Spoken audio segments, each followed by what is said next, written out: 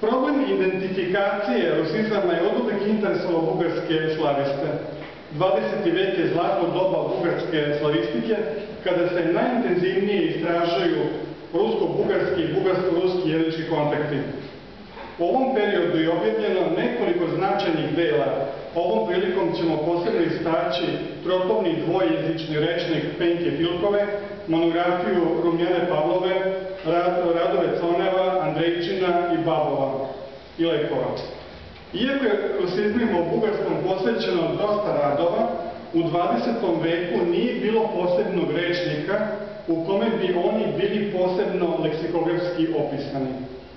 Razlog tome nalazimo u preoblađujućem uticaju etimologije i istorijske lingvistike 19. i 20. veka na proučavanje rusizama, s obzirom da se moderna teorija jezika u kontaktu počela formirati tek polovinom 20. veka.